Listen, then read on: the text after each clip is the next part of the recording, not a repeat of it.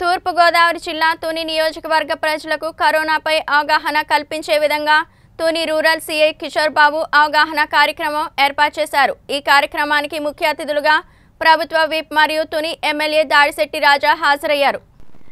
ఈ సందర్భంగా ముఖ్య అతిథులు మాట్లాడుతూ కరోనా రెండో దశ చాలా వేగంగా వ్యాప్తి చెందుతుందని ప్రజలు అప్రమత్తంగా ఉండాలని అవసరమైతే తప్ప ఎవరూ ఇళ్ళ నుండి బయటకు రావద్దని ప్రజలకు సూచించారు. ఈ సందర్భంగా ఎమ్మెల్యే దాడిశెట్టి రాజా మాట్లాడుతూ ప్రజలు నిర్లక్ష్యంగా ఉండి కరోనా బారిన పడొద్దని కరోనా విషయంలో ఎటువంటి దుష్ప్రభావాలు కలుగుతాయో తనకు తెలుసన్నారు. దేశంలో కరోనా విజృంభిస్తున్న సమయంలో దేశం మొత్తం మీద కరోనా వ్యాప్తి చెందకుండా ప్రజల్లో చైతన్యవంతులను చేసిన ఘనత సీఎం వైఎస్ జగన్దేనని కరోనా అత్యధిక టెస్టులు చేసింది ఒక ఆంధ్రప్రదేశ్లోనే అని తెలిపారు. అలాగే జిల్లాలోనే ప్రాముఖ్యత ఉన్న తుని ప్రభుత్వ ఏరియా హాస్పిటల్లో కరోనా టెస్టులతో పాటు ఆక్సిజన్ను సీఎం జగన్ దృష్టికి తీసుకువెళ్ళి త్వరగా తుని ప్రభుత్వ హాస్పిటల్లో ఏర్పాటు చేస్తామన్నారు. నా ఏజ్ ఒకేసారి టెన్ ఇయర్స్ పెరిగిపోయింది ఏజ్. వెయిట్ టెన్ కేజీస్ పెరిగిపోయింది. కరోనా రాకముందు వచ్చిన తర్వాత కూడా. ఒక జాయింట్లో పెయిన్ స్టార్ట్ అయితే అది మనం రిపేర్ చేయించుకునే లోపల వేరే జాయింట్లో పెయిన్ స్టార్ట్ అవుతుంది. రకరకాల రకరకాల ఇబ్బందులు ఉంటున్నాయి. అయితే ప్రాణాపాయం అయితే లేదు. మన డాక్టర్స్ అగ్రెసివ్గా ట్రీట్మెంట్ చేస్తున్నారు. మన ముఖ్యమంత్రి గారు గౌరవ వైద్య శాఖ మంత్రి గారు వీళ్ళందరూ అన్ని జాగ్రత్తల్లో తీసుకుని మన గవర్నమెంట్ డాక్టర్ సహాయంతో మనం చాలా గట్టిగా ఈ వ్యాధి మీద ఫైట్ చేయగలుగుతున్నాం. ఇందాక మేడం శశికళ గారు మాట్లాడుతూ చెప్పడం జరిగింది. జిల్లా హాస్పిటల్లోనే టెస్టింగ్కి బోర్డంత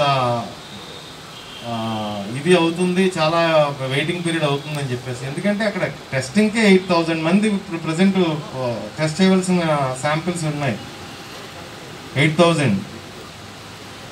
Eight thousand. మన తున్ నుంచి ఈ రోజు నుంచి శాంపిల్స్ కలెక్ట్ చేయమని చెప్పేసి చెప్పారు. మన తున్ నుంచి అదేవిధంగా last time a fifty bed hospital తున్లో arrange చేశారు కోవిడ్కి.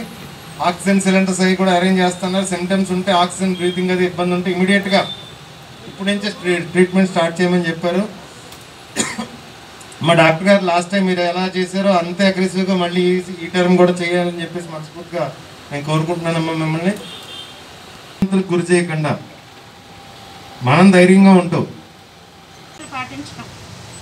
ఏమంటారు? ప్రతి ఒక్కరు వచ్చి టెస్ట్ చేయట్లేదు. ఇలాంటి సీజన్లో మేము ఎలాగా అనేసి వాళ్ళు పానిక్ అవుతున్నారండి భయపడుతున్నారు. అంటే మాకు రిపోర్ట్ తెలియట్లేదు మా పరిస్థితి ఏంటో తెలియట్లేదని. ఎమర్జెన్సీలో చేసే టెస్టులు కూడా మాకు ర్యాపిడ్ కిట్లు కూడా చాలా తక్కువ ఉన్నాయి. రోజుకు చూస్తే దగ్గర వంద నూట యాభై మంది ఫీవర్ కేసులు వస్తున్నారండి.